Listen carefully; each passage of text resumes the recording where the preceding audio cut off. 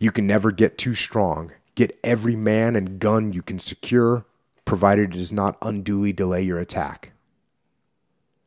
I used to say we, we'd try to figure out how many guys we'd bring on a mission, and I'd get some kind of you know restriction like, hey, we only want you to bring this many guys, and I'd say, well, this isn't soccer where we're only allowed to bring eleven per side. Well, why would I not bring thirty eight if I can bring thirty eight? Why would I stop myself at twenty seven? Mm. You know, bring as many people as you can. Let's go. Let's rock and roll. The larger force and the more violence you use in the attack, whether it be men, tanks, or ammunition, the smaller will be your proportional losses. Violence of action is what we used to call that in the SEAL teams. Violence of action.